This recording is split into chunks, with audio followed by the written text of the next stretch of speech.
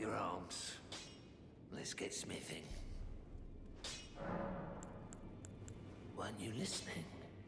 As I've always said, you came to challenge the demigods and their god, to slay them. And as long as you do, I will always smith your weapons. It is what I wish. To smith a weapon for you to slay a god.